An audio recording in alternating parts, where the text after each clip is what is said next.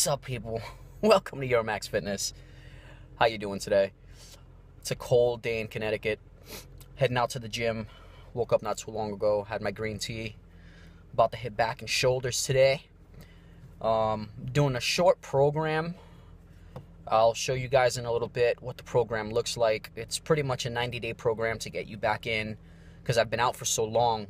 So it uh, it's a three-month program that uh, that focuses on like easy exercises the first month, intermediate exercises the second month, and then like harder exercise in the third month, just to get your body back into the to the mode of working out. Then after the three months is up, I'll start with the really hardcore stuff. But um, yeah, we'll get right into it. Enjoy the video. Twelve in the morning, pop shells for a living and baby gon' smell blood trail every minute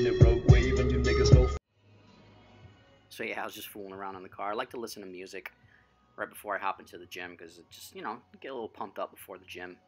You know what I mean? Like I said, I've been I've been doing this intermediate program right now.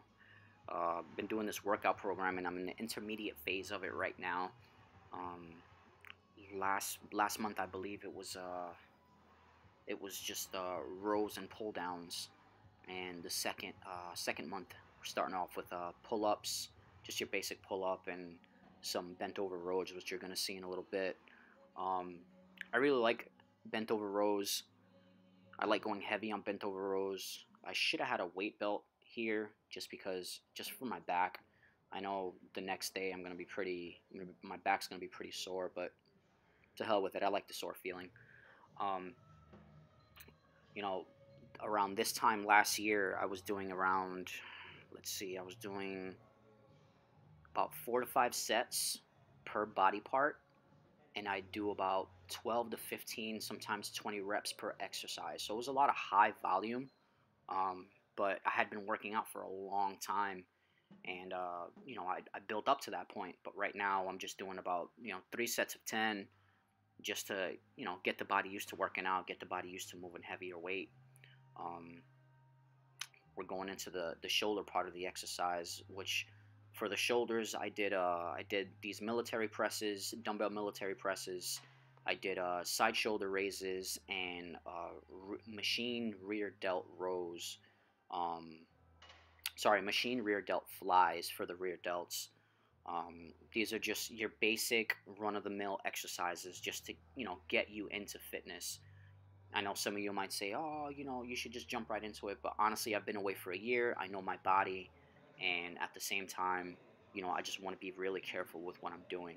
Um, shoulders, shoulders was probably like one of my favorite body parts to do when I was like really lifting like four or five days a week. Um, I do shoulders twice a week.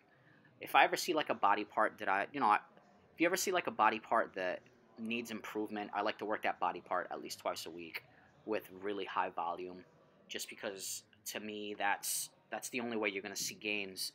Um, that combined with proper nutrition, you know, clean eating, and you just let time do the rest, obviously. Um, but yeah, this is uh, this is pretty much brings me to the end of the workout. Um, I hope you guys enjoyed it. Just remember, just whenever you're doing reps, just you know, focus on form. Form first. Form is always going to be first, and you know that with proper nutrition, and you should be good to go. All right, guys. That was the end of the workout. I am beat. After uh, after my shoulder workout, I did about an hour of cardio on the treadmill, and uh, drank two scoops of protein, and I'm on my way to grab some sushi because I love sushi. Um, yeah, I hope you guys enjoyed the video. Um, I'll try to put out another one for you guys soon. In the meantime, don't forget to like and subscribe.